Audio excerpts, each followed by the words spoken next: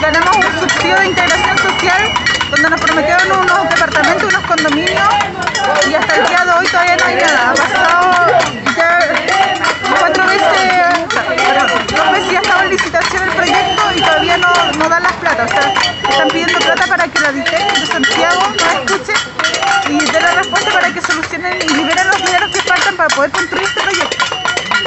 Son varios comités, ¿no es cierto? Aquí realmente, aquí eh, son 112 familias, de 112 familias son cuatro comités actuales de Puerto Montt y el resto de familias son a través de la municipalidad que fueron postulando.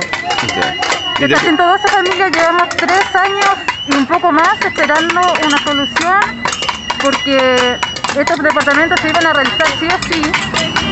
Llegó la pandemia, eh, los dineros fueron faltando porque como subieron los precios de los materiales, eh, dicen que ahora por falta de dinero no se puede realizar. Estamos esperando una solución de parte de ITEC de Santiago, porque ellos deberían ser los encargados de entregar estos dineros para poder realizar el proyecto.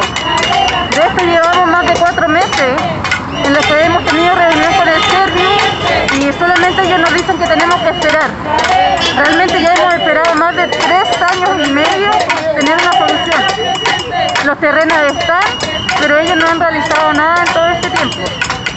Y los dirigentes en Los dirigentes este momento están con el director del Servio para una posible reunión en este momento, pero nosotros estamos apoyando acá afuera a ver qué, qué respuesta nos pueden entregar.